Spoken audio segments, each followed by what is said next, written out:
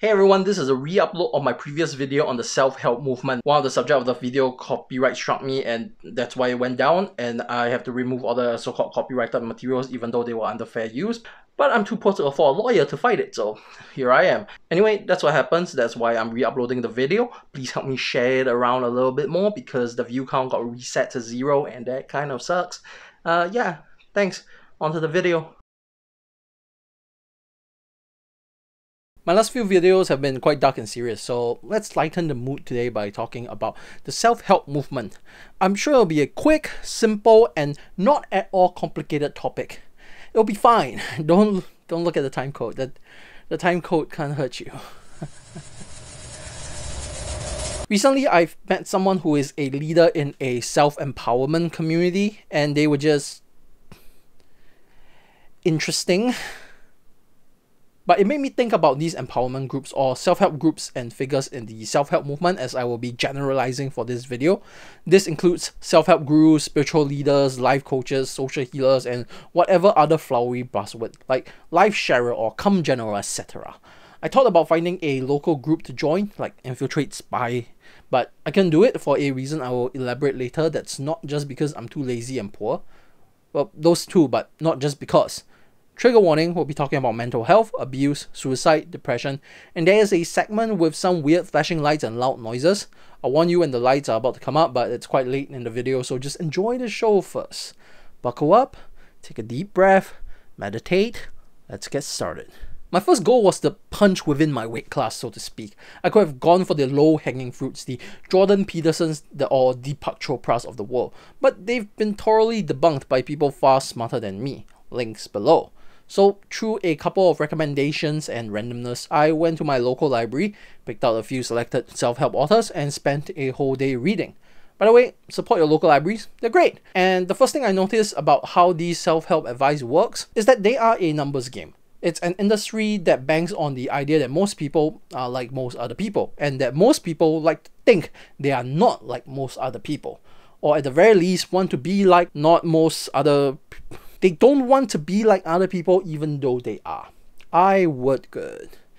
If you look through books within the genre, you'll realize very quickly that the things in them are applicable to almost anyone throughout most of a person's existence. They are what's called Barnum statements in an overturned window of life. Things that can be applied to a general audience because of how universal they seem. The light you see within others is within you. Or the market always goes up really child level statements that affects a majority of people and situations, the no shit Sherlock levels of advice. If you are part of a neurotypical community or a general populace with systemic privileges, these Barnum statements will feel incredibly justifying. Basically, if you're anywhere here on the journey of life, these statements will tickle your G spot, so to speak, because they itch on the edge of what the general populace would experience as extreme these incredibly basic levels of self-awareness will feel life-changing even.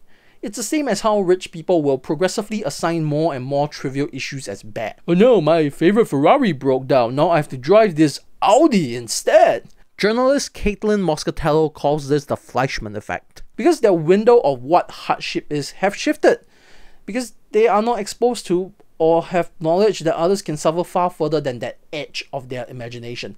They start to think that this is the edge. For example, the titular poor dad in Robert Kiyosaki's Rich Dad Poor Dad is a successful educator in academia. Kiyosaki's benchmark for poor is prolific academic success.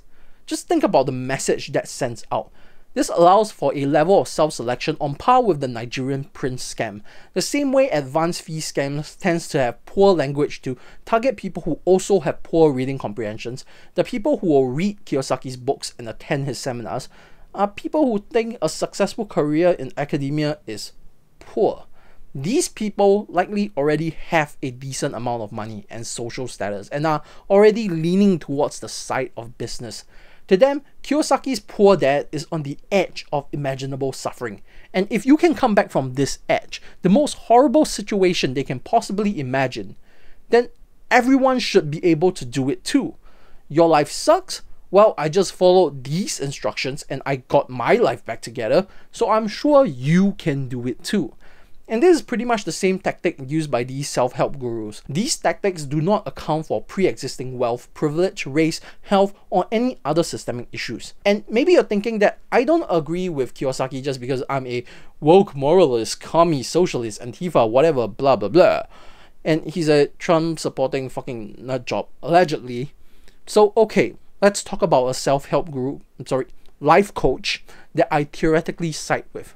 Let's talk about Hun Ming Kwang. Is it Hun or Hun? I really should check this out. Hun's book were recommended to me by an acquaintance when researching this topic, and I'm picking him out specifically for two reasons. One, he is, as far as I can tell, a lefty ish. And B, the self help he's peddling is in a topic I have some level of knowledge in mental health. His author bio calls him a spiritual teacher, professional artist, social healer, life coach, and community leader, which is just like mwah, perfect for the topic, just short of a guru or come general. In terms of self help, his books are fine. They are all just interviews with professionals in the mental health community or politicians and social workers. So, quite harmless stuff, but also not really self-help. His self-help persona comes from his talks, seminars, events, and a community group he founded, which, uh, which, oh, the group, we will, we will get back to his group. His book series, Treading Worlds, are honestly just interview transcripts. They seem like a genuine effort to do some good in the mental health sphere. As far as self-help books go, they're fine. Not great, but not harmful. They get my official seal of eh, approval, but, and oh yes, there are buts, it has issues. Let's hope the problems are just with the books and not with the author, because that would would be bad. Hun is the interviewer in a majority of these interviews, and because of the transcript nature of the books, you get to see some of his personal beliefs and worldviews unfiltered through his questioning. For example, out of the 75 interviewees, less than 6 of them even mentioned having a chronic or serious mental health disorder.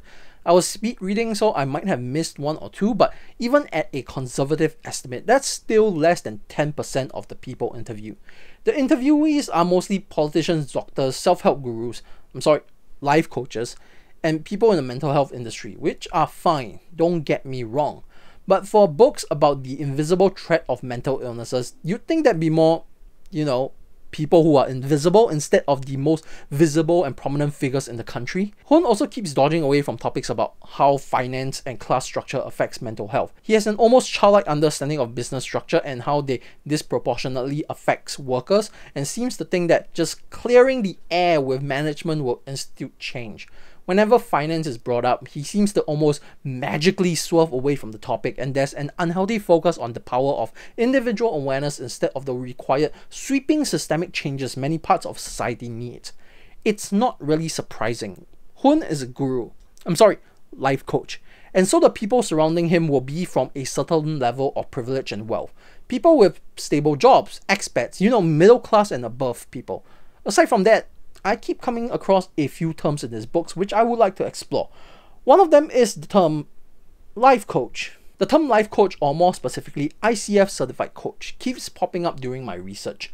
According to Hun Ming Kwang, he himself is an ICF certified coach. He even interviews a few of them for his books. Another random financial self-help book I picked up was also written by one of these ICF certified coaches, which brings up the question, what is the International Coaching Federation, or ICF, is a non profit organization that certifies professional coaches.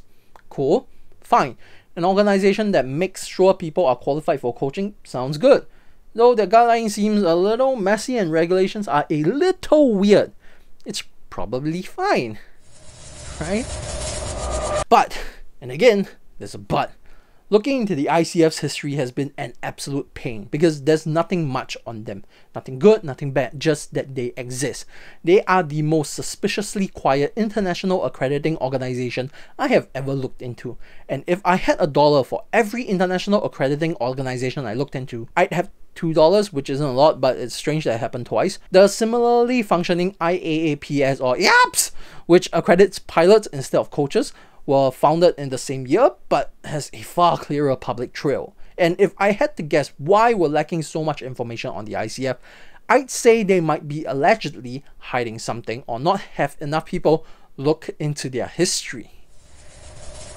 The ICF was founded by Thomas J. Leonard, whose middle name is lost to the abyss because he decided to have two first names. A personal coach, Leonard was an employee at Erhard Seminars Training, or EST, a former self-help cult, I'm sorry, seminar, which was founded by the self-help guru Werner Hans Erhard, who changed his name from John Paul Rosenberg to sound smarter after abandoning his wife and four children in poverty and running off with another woman. So, nothing unethical there. Thomas J. Leonard also founded Coach U, Coachville, and the International Association of Coaching, all of which provides paid coaching education that are recognized by the ICF.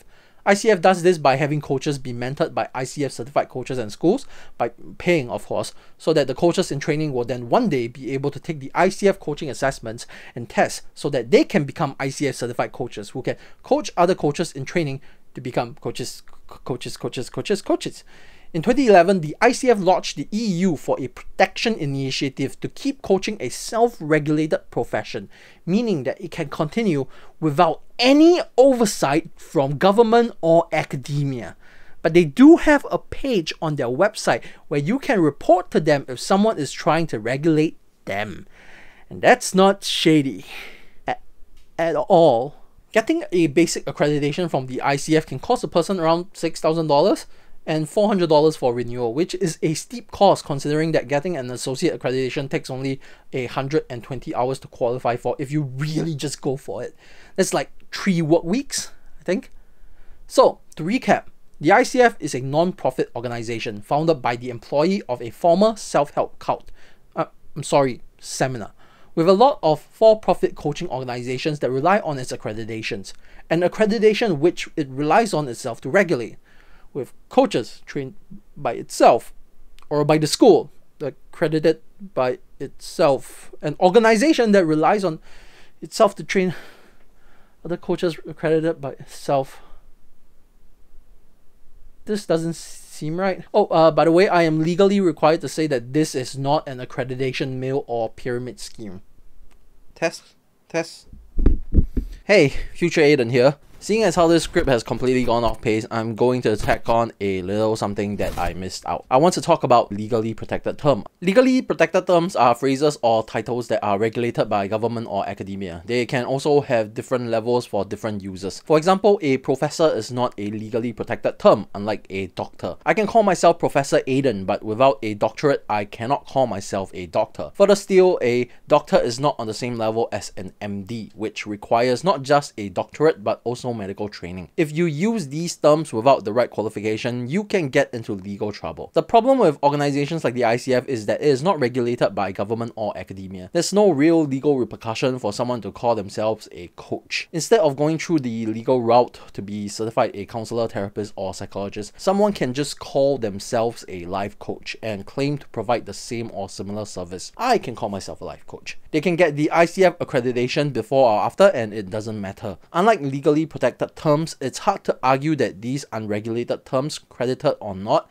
are there to protect consumers. However, getting these accreditation do protect people who are using these unprotected terms from defamation laws. Singapore in particular is famous for its use of defamation laws, which is why throughout the video I've been saying this. Let's talk about a self-help group, I'm sorry, life coach, former self-help cult, I'm sorry, seminar. I'm sorry, I'm sorry, I'm sorry, life coaches, life coach, seminar. Terms like self-help gurus were popularized in the 60s to 80s. There were more people willing to take advice quoted in words of mysticism and exorcism then. But as the world globalized and snake oils are slowly replaced with corporate speak, weight loss experts are now nutritionists, gurus are now coaches. The legally protected terms are not available to these people, so they tend to go for the next best professional sounding thing. And all this was going on in the background of my research until I found out that Hun Ming Kwang is not ICF certified. Remember when that's what this video was about? I asked ICF if they held records of former coaches to see if Hun maybe used to be ICF certified and also as a way to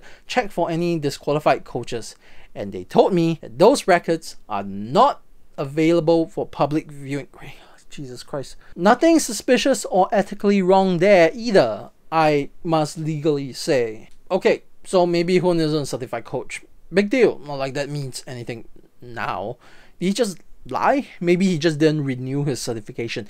Even with such a low requirement, you can literally do coaching or study for 40 minutes a week, and you will qualify to renew your ICF accreditation in three years. That's less time than it takes to watch the Power Rangers movie. No, I'm talking about the good one. No, the good one. Yes, this joke is just for you, Ranger Nation. But it's really starting to seem like this is an entire industry built on grips inside of grips, like a nesting doll of grips. Every time I disassemble one grift, I find another one hidden in a corner. So maybe let's bring it all back to what they say. Maybe it's what these people preach that are good and important. A lot of people manage to do good work within shady systems. So let's take a look at Hun's mental health philosophy. I'm sure that's totally good and unproblematic, and he is qualified to help and will in no way be possibly harmful whatsoever. Aside from the Barnum statements, Hun keeps bringing up two other terms in his books and seminars awareness and inner truths. Hun makes it very clear in his books that I could get my hands on that his definitions of awareness and mindfulness are two very different concepts. He doesn't actually ever explain properly what mindfulness is to him, nor does he talk about what awareness is, and I am not paying for his courses because fuck that shit. But from what I managed to piece together, his definition of awareness is the ability to identify yourself in the world, the ability to know that you exist as a person and your ghost and self, and be aware of those things and aware of the world around and it's blah blah blah blah blah. It doesn't matter. And inner truths are just buzzwords to mean personal goals, ideal self, and things along that line. It's manifestation BS you can literally Google manifestation BS and find similar talking points. And to understand why none of this matters, you need to understand the difference between mental health and mental illnesses. Mental health is something that everybody has. These are your anxieties and your grief. They can be managed or completely avoided if you take care of yourself or if society is accommodating. Mental illnesses are disorders and sicknesses that only affects a portion of the population. These are your chronic or severe mental health conditions like anxiety disorder or depressive disorder or schizophrenia and bipolar disorder. They cannot be avoided. If you have them, you have them. They can be managed and they might be curable, but getting it is out of your control. Basically, all mental illnesses are mental health issues, but not all mental health issues are mental illnesses. Think of them as the difference between having muscle cramps and having multiple sclerosis.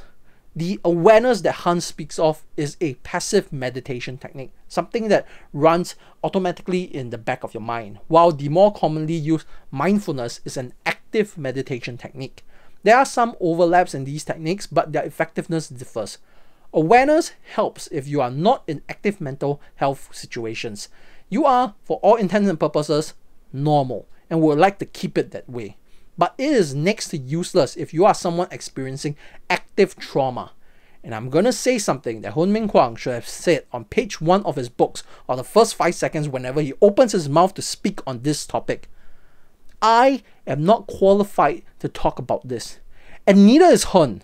Because Hun, and get this, isn't a trained therapist or a psychologist or a psychiatrist or anything. He's an architect wait a minute, this isn't the LinkedIn profile from before. He couldn't be trying to hide his past qualifications by creating an entirely new profile with drastically different qualifications, could he?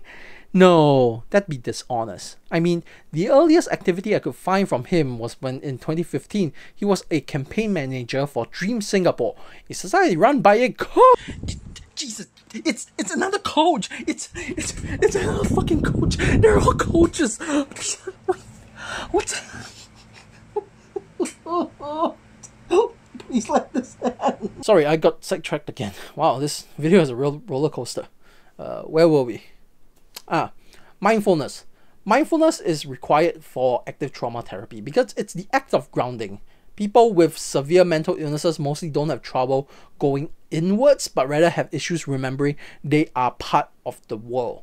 It's a phenomenon called disassociation. Basically, having trouble remembering that I'm here. This this is real. This is all real. It's this association is what active meditation helps with. And meditative therapy of any kind is really hard to do, especially if used on someone in severe active trauma by someone without proper training. An important part in all this is to open up an individual to traumatic experience, which is very dangerous. It can cause anxiety, physical pain, and even psychosis. The reason why Hun's definition of awareness and mindfulness doesn't matter is because he isn't qualified to conduct therapy, even though he actively does so in the exact way I'm describing. Because, and I'm gonna repeat this, he's an architect. He's not trained in any form of meditative therapy. What he is doing is scratching the surface of a very powerful, very complicated process. His techniques works for his crowd because they have already cultivated an in-group. The people who go to him aren't doing it because the techniques are proven effective for everyone. They are staying with him because it's effective for them. For example, most meditation doesn't work for me because I have a condition called aphantasia. My therapy has to be specially tailored. What is he going to do if I show up? People in vulnerable situations do show up to his sessions. Is he equipped to handle the tailored treatment they need? But hey, as long as gurus, sorry, life coaches like him don't peddle pseudoscience and mysticism and don't take advantage of their vulnerable clients for an obscene amount of money selling them fake cures and magical woo products that might be misguided, but still borderline ethical, right? No, we're not doing the shadow choke again. I'm running out of head clip. Just show it to me. Show me the truth. I can take it.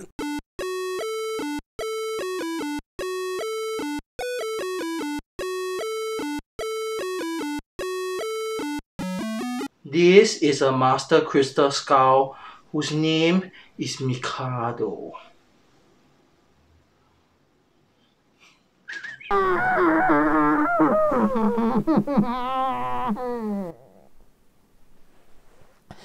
the way, let's talk about the community group Hun Ming Kwang founded. ThisConnect today. Is it ThisConnect today or ThisConnect dot today? I don't know, man. This video really got away from me. ThisConnect is a grown up movement, advocacy platform, mental health awareness, community, blah blah blah. Buzzword, buzzword, buzzwords. The self help movement really loves buzzwords, okay? So, foregoing all their flashy self titles, from what I can tell, it's a social community slash group that hosts monthly sessions on mental health awareness. They do meetups and art therapy events organized by the architect Hun Ming Kwang, the architect. But for simplicity, I'm just going to classify them as a self help group because that's what they seem like, to be honest. And I don't really know what to call them, and they don't really make it clear. I wasn't actually going to talk about this group much because it seemed like another genuine attempt by Hun at creating a safe space to talk about mental health issues. Like his books, it was going to get the official Aden seal of approval.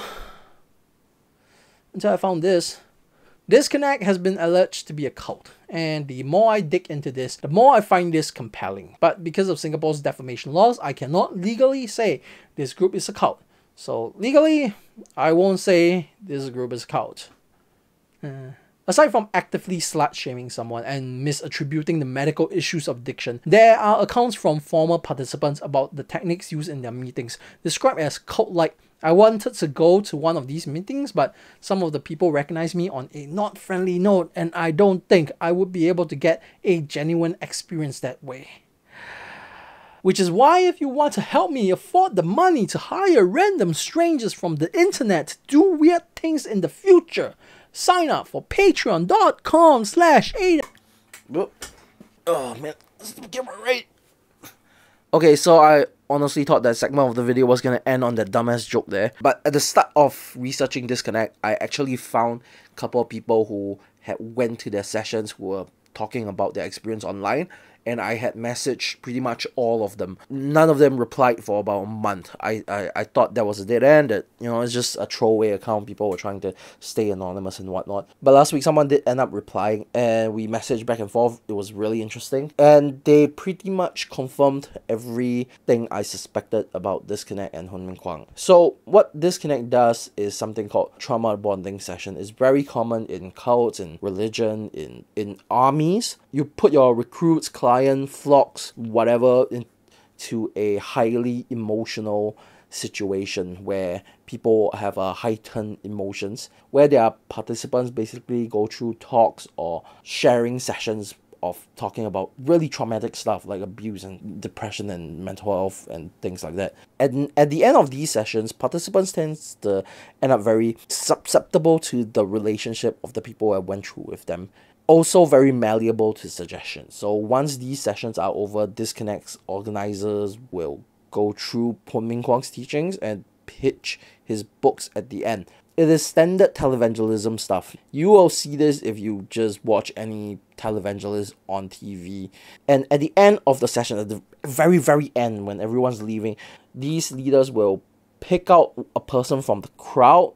I don't know what their criteria is, but they will pick out people from the crowd that they think are able to move further or just steamroll through and just try to get them to go further. And these people will get pushed on to meet uh, Hun Ming Kwang. The person that I messaged with, they managed to get all the way to meeting Hun Ming Kwang himself, and their experience was interesting.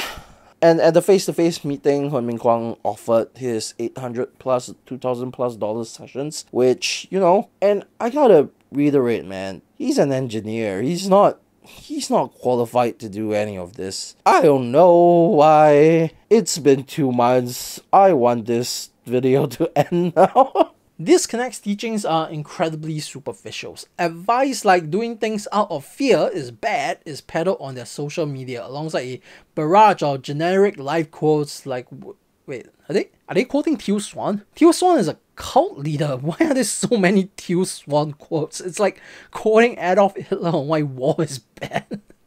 anyway, doing things out of fear is bad, which, as a statement, on the surface, fair enough.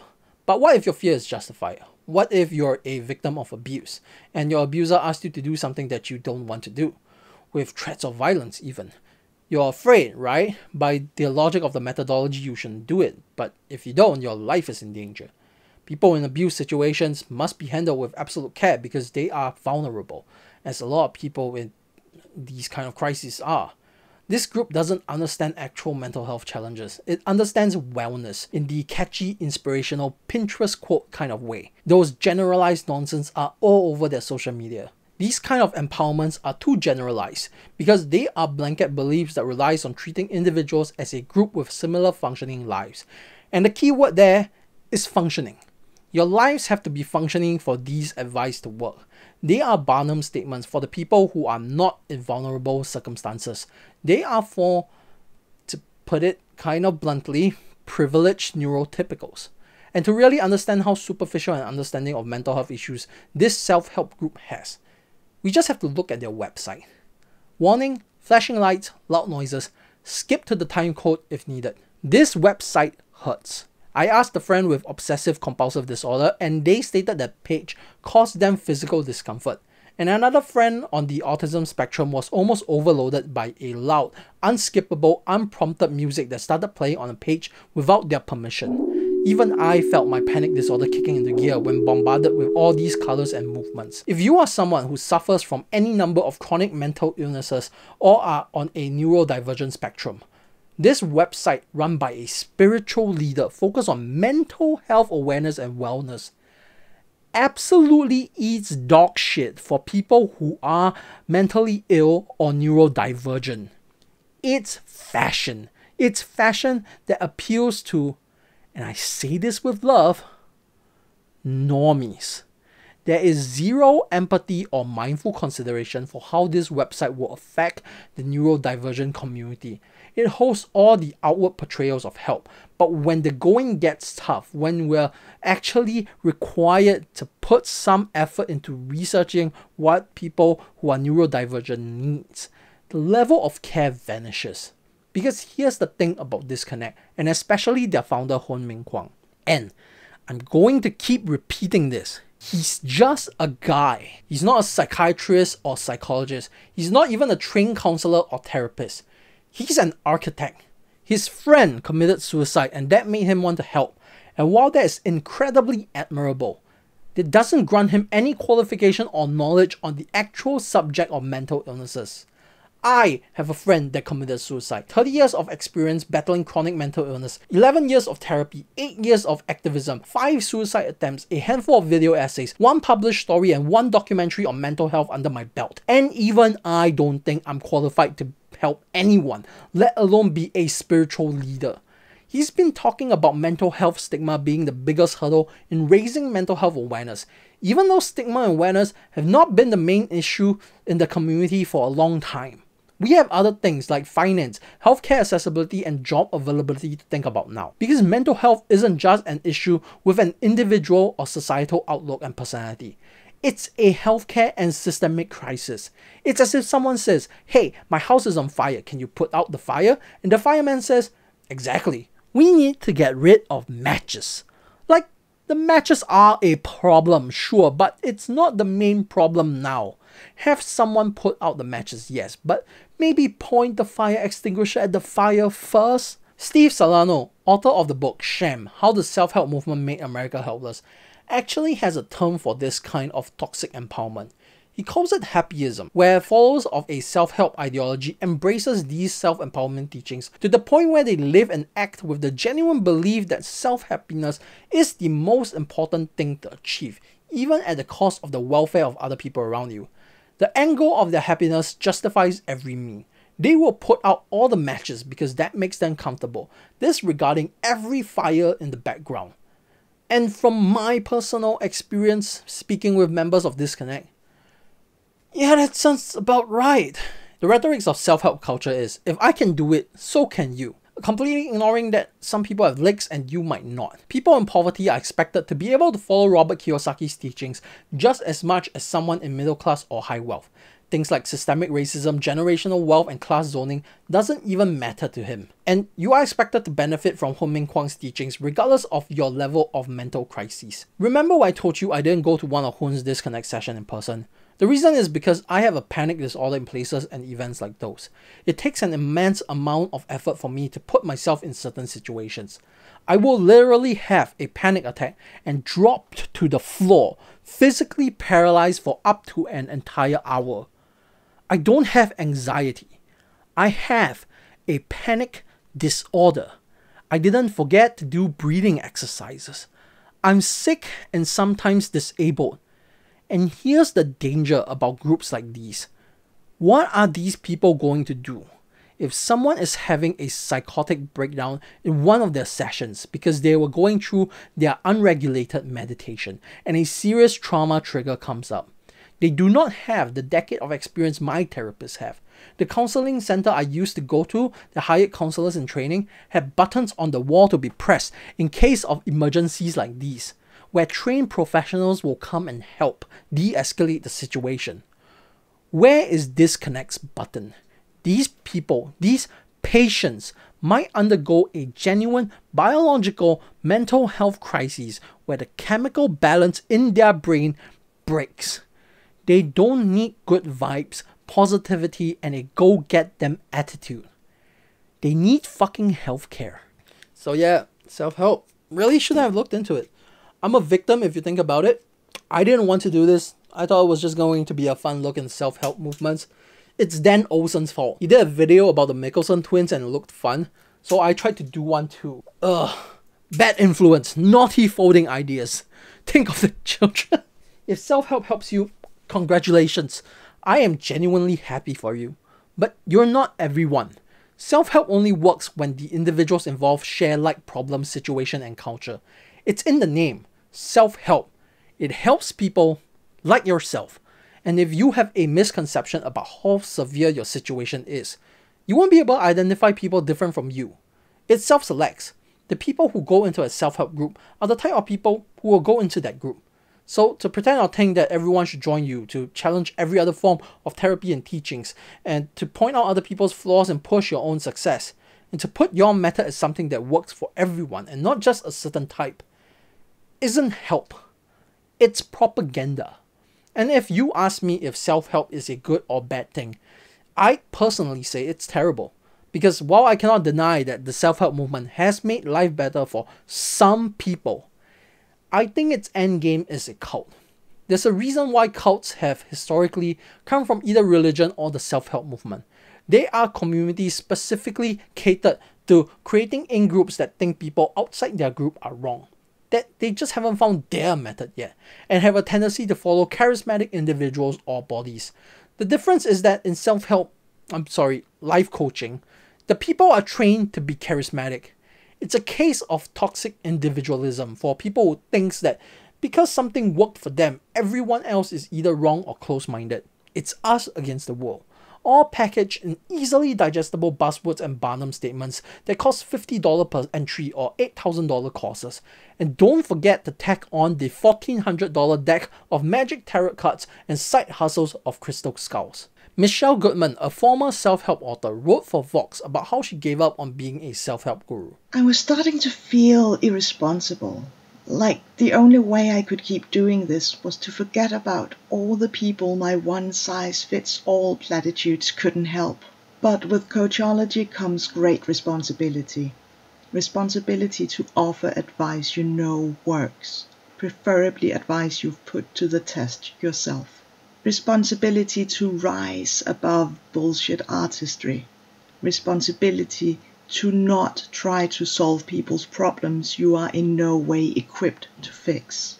Advising others on how to steer their professional lives and livelihood was a job I no longer wanted. This wasn't just a crisis of skills or cash flow, it was a crisis of conscience. Self help is flawed because, in the grand scheme of things, it's the easy way out.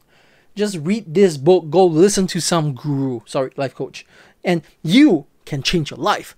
But that's just not how it works. Help, genuine help like therapy and counseling and financial fiduciary guidance, good ones, are hard and they can be expensive. But they are not more expensive than self help. A monthly subsidized counseling session at my local counseling center costs the same as one of ThisConnect's monthly session fees. And they won't even spam you to buy books.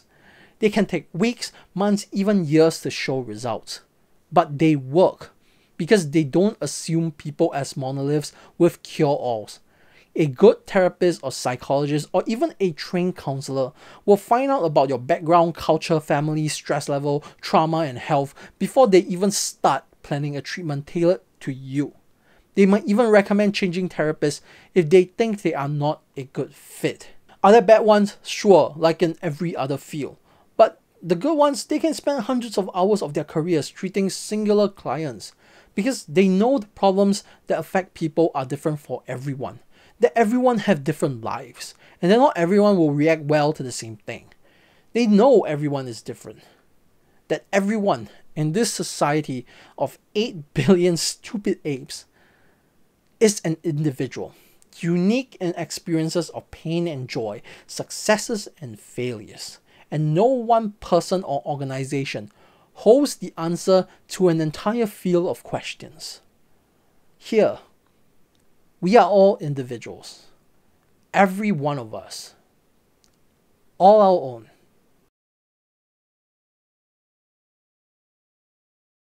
Oh, that was a long ass take. Hi. Thanks for watching. Thanks to my Patreon, as usual, patreon.com slash aden underscore Ng. Subscribe, like, comment, share, whatever YouTube stuff.